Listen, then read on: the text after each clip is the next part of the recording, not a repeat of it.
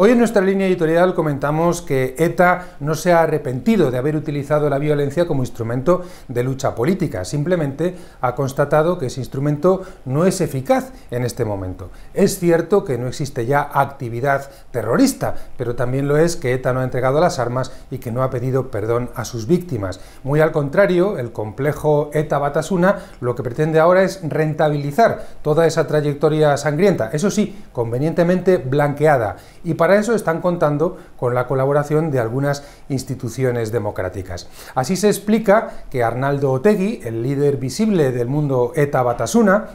a través de su marca actual, que es Bildu, haya sido recibido en el Parlamento de Cataluña como un hombre de paz, a pesar de que no ha pedido perdón a las víctimas ni ha condenado los atentados de ETA. De esta manera, el Parlamento está avalando la estrategia del mundo de ETA Batasuna y se está degradando la democracia. Además, tanto el Parlamento como la Generalitat de Cataluña y el Ayuntamiento de Barcelona, que todos ellos han participado de algún modo en la recepción de Arnaldo Otegui, han inferido una humillación sonora a las víctimas del terrorismo, muchas de ellas, por cierto, asesinadas en la propia Cataluña.